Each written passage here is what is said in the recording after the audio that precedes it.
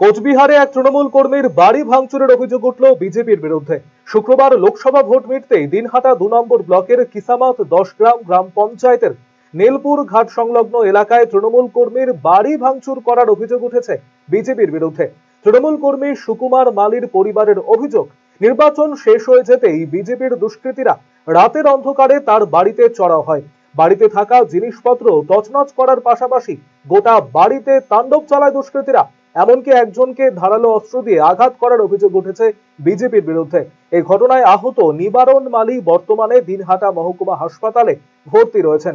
ঘটনার পর আতঙ্কে রয়েছেন পরিবারের সদস্যরা। আমি বাচ্চারা, বাচ্চা দুটোকে নিয়ে শুয়ে এসি রাতের বেলা আমার স্বামী তো বাড়িতে ছিল না, ফটো ওইখানে ছিল।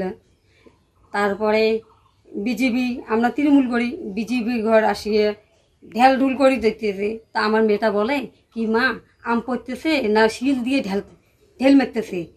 তা আমি বললাম কি দাঁড়া তো টিভিটা বন্ধ করি, ভালো করে একটু শুনি। তাই আমার গাছের আম তো এত বড়, ছোট ছোট, বড় হয় নাই। তারপরে এলা বাচ্চা, ছেলেটা ঘুমাইছে আর মেয়েটা চেতন ছিল। তারপরে এলা মেয়েটা বলল, মা, আমার শ্বশুর শাশুড়ি ওই বাড়িতে থাকে পাকাওয়ালা বাড়িতে। তা বলল কি, চলো ওই বাড়ি যাই। তা আমারও তো যখন কয়টা ঢেল ঢেলাইছে, আমি মেয়েদেরকে বলছি কি আম পড়তেছি এইরকম করে বলতেছি। তারপর বড়, যখন লাস্টে বড় শিল্পি দিয়ে ঢেল মারলো, তখন আমি বাইরে বেরিয়েছি। বাইরে বেরিয়ে মেয়েদেরকে, মেয়েটাকে, ছেলেটাকে নিয়ে চলে গেছি ওই বাড়িতে ভয়তে আতঙ্কতে। তাহলে ওই বাড়ি চলে গেছি, তাই আমার শাশুড়ি, শ্বশুরকে বলছি কি, বাবা বাবা, চলো তো ওই বাড়িতে, তোমার ছেলে তো বাড়িতে নেই, বাড়িতে কে ঢেল ডাং ডাং মুর মারতেছি ডাঙাডাঙি নাচতেছি বেড়ায় টেড়ায় ডাং ডাং মার মারতেছি। তারপরে আমার বাবা আসলো, আমার শ্বশুর মশাই আসলো। তা বাবা আসিয়ে বলল, কে রে? বাড়িতে ঢেলাঢেলি করতেছো?